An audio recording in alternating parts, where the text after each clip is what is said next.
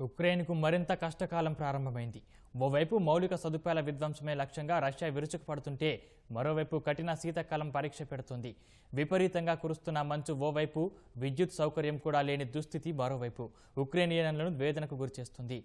గుట్టలుగా పేరుకుపోతున్న మంచు ఉక్రెయిన్లో జనజీవనాన్ని మరింత దుర్లభంగా మార్చేసింది.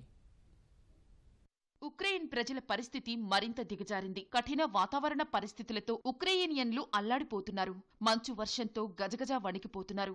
రష్యా భీకర దాడులతో ఇప్పటికే దేశంలో విద్యుత్తు లేక అల్లాడుతుండగా దానికి తోడు విపరీతంగా కురుస్తున్న మంచుతో ప్రజలు ఇబ్బందులు ఎదుర్కొంటున్నారు. రాజధాని కీవ్ సహా చాలా ప్రాంతాల్లో గుట్టలుగా మంచు పేరుకుపోయి జనజీవనం స్తంభించింది. ఉక్రెయిన్లో శీతాకాలంలో వాతావరణం చాలా కఠినంగా మారిన వేళ గడ్డకట్టే చలిని తట్టుకుంటూ రష్యా దాడులను కాచుకుంటూ ఉక్రెయిన్ వాసులు భయం భయంగా కాలం వెళ్ళదీస్తున్నారు.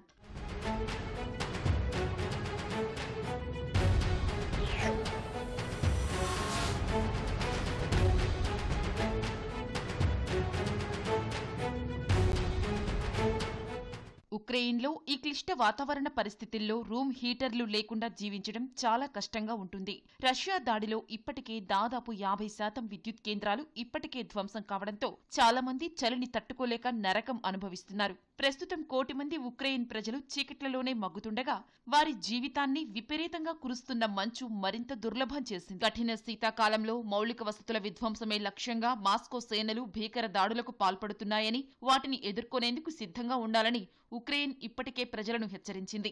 ఇది ఉక్రెయిన్కు మరింత కఠిన శీతాకాలం అని ఈ క్లిష్ట పరిస్థితులను ఎదుర్కొనేందుకు ప్రజలు సిద్ధంగా ఉండాలని అధ్యక్షుడు జెలెన్స్కీ కూడా పిలుపునిచ్చారు. గడ్డకట్టే చలిలో విద్యుత్ నీరు రూమ్ హీటర్లు కూడా లేకుండా ఉక్రెయిన్ వాసులు అల్లాడుతున్నారు. ఇప్పటికే అమెరికా సహా పశ్చిమ దేశాలు చలిని తట్టుకునేందుకు అవసరమైన సామాగ్రిని దుప్పట్లను ఉక్రెయిన్కు పంపించాయి.